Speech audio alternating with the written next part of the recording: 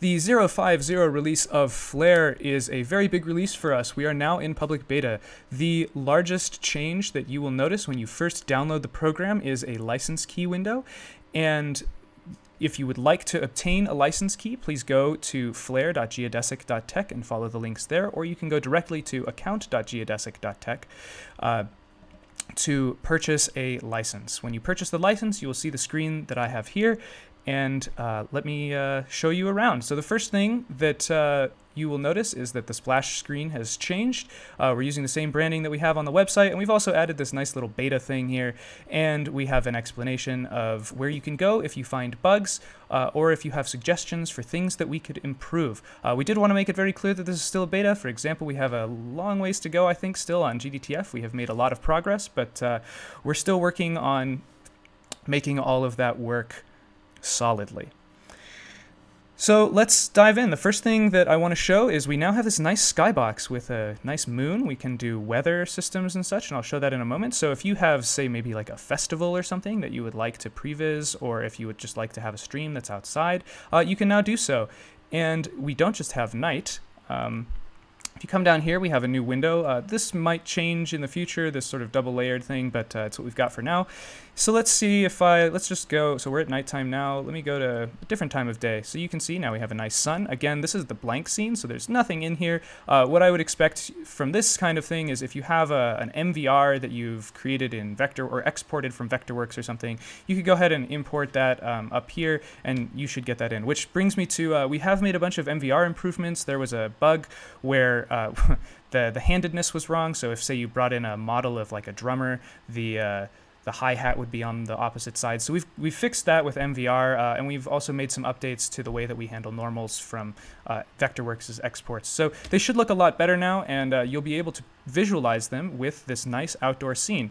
Uh, if we go down to the parameters, we have a bunch of stuff here. So we can go to uh, maybe like clouds, and you can see we can add clouds, and we can change the way that this looks. Uh, we can add wind. one of the things that I really like is if I come back here and I turn on the weather, I can turn on some rain here. You can hopefully see that. It's kind of subtle, but there's rain happening in here. And uh, if I come over here and I turn the temperature down, uh, you'll see that the rain becomes snow. So this is a very subtle thing, not very important, but I'm really happy about it. I think it's kind of a fun thing that we added.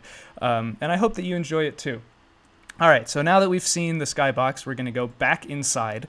I'm going to go to a new show, and we have a new template. So if we go to the stadium here, I will click Load Show, and you can see our new template. And this is going to give me a chance to show off a couple of new fixtures and things that we have. There's kind of a lot going on in this scene. Uh, we've got two layers of moving heads. We've got our CO2 cannons here, and then we've got some pyro embedded in the floor. We've also got some new emissive objects that are kind of in the background here, and maybe I'll, and I'll show those in a moment.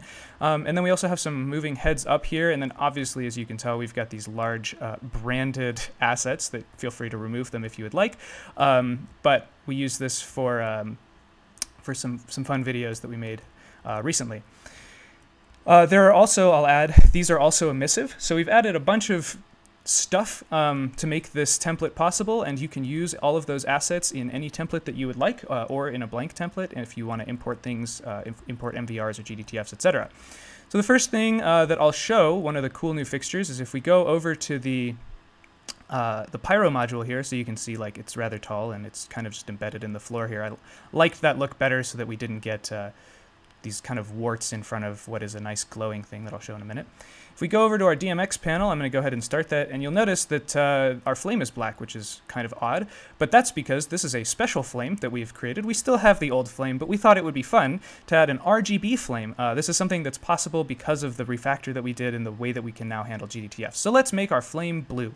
Um, this is very unrealistic, and so if you're doing a stream and you want something that's intentionally unrealistic, you could do something like this. Or uh, if you are doing like a treatment for an artist and you're doing previs, maybe you can, you know, you can really tune the color here so that it looks the way that you want it to look. Um, we do have RGB on our Pyro modules now, uh, or at least on our flame modules. And then on our pyro modules, we have the same. So pyro modules are the sparklers, and if we turn those on, again, you'll see we've got a little bit of uh, smoke coming out here, and then some some heat effects that are happening as well. It's kind of subtle, but uh, I'm going to make that blue, and you can again see that we've got blue. Maybe we have a purple one.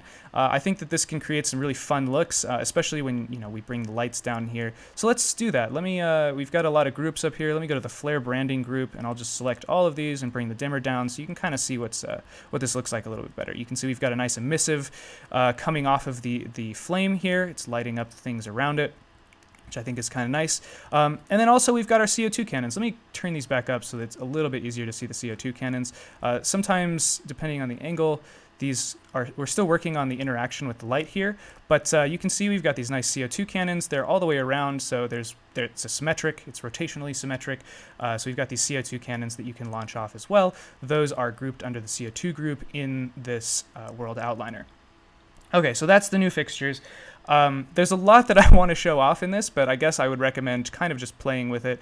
You know, if you play with all of the floor lights, for example, um, so we have moving head. These are a little bit cut off on my screen here, so let me just extend that. If we go to moving head floor, uh, we'll just select, I'll select all of these here, uh, and you can see I've got all of them. And so now I'll just turn up the shutter first to 255, so we've got a, a solid beam. Let me turn up the dimmer, and then we can turn up the tilt, and uh, we've got a nice thing.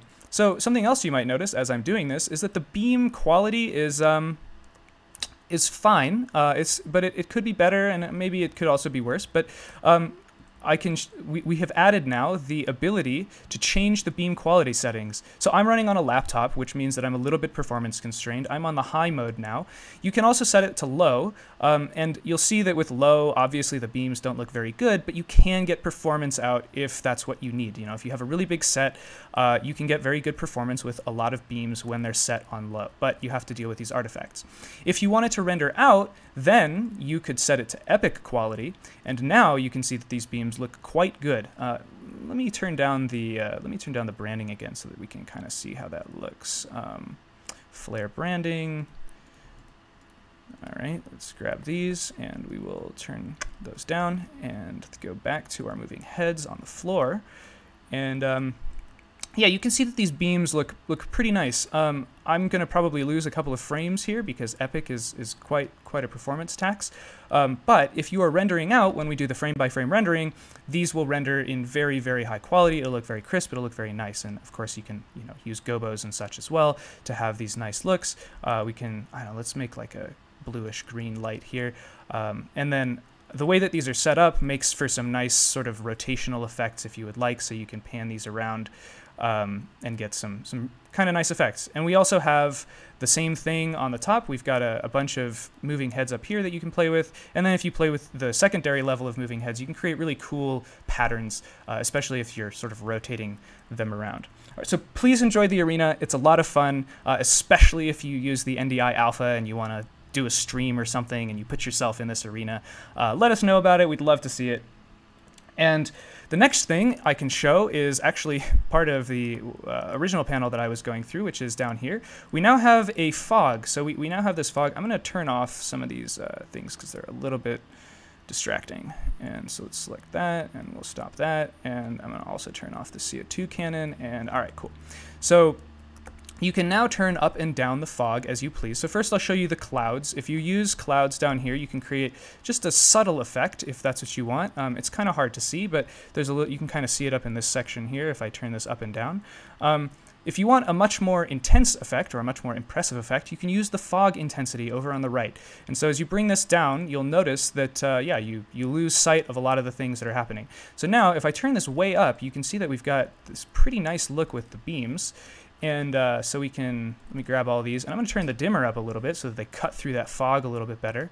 Um, and there's still a there's a there's a there's a little bit of artifacting happening. That that's something that we're working on with these beams. But I think you know in general like they look uh, pretty good. I'm, I'm pretty pleased with them personally. Um, and so we can go back up to the flare logo, and now that we have the fog on, if I turn these up, they'll be a lot less bright, and they'll affect the fog in a volumetric way, um, and create, again, these, these pretty nice looks. So if you're looking for a smoky club kind of look, I'm not sure that a stadium would really ever look like this, but if you're looking for like a smoky club, you know, you can use this fog to create some very intense effects. Speaking of fog, we also now have a, a fog effect specifically as an asset.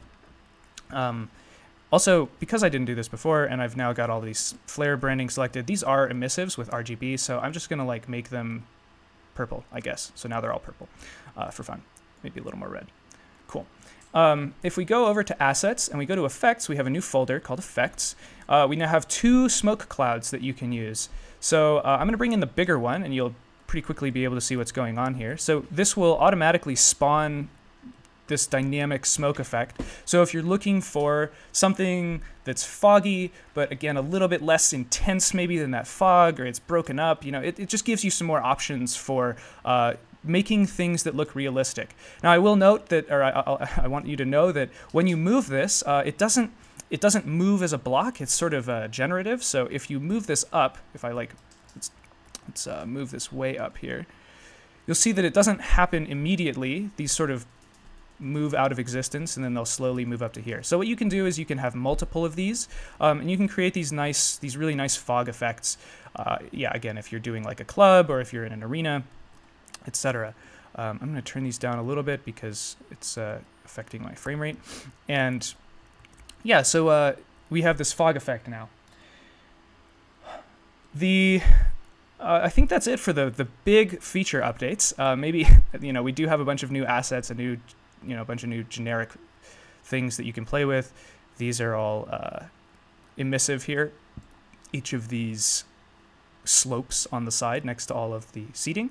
Um, and so you can change these colors. You could also bring these into whatever you want. And as always, if you wanted to use like one of our emissive cylinders to create like an LED, uh, something that behaves sort of like an LED strip but performs a lot better than if you had like a matrix fixture, uh, that's something that you can do with these generic shapes. So we've added uh, we've added this slope shape for um, any any of your needs. Uh, one other thing I'll add, we've got we added this uh, we added a hexagon shape. Let's see if I can see if I can find it in these groups here. Let me minimize this group. Oh, hexagon lighting, that's convenient. All right, let's uh, grab that, and if I make that red, you can see we've got this nice sort of red glowing stuff inside. And so you can use this to build your own stuff, or just use it if you want to use the arena as a um, prototyping ground, for example.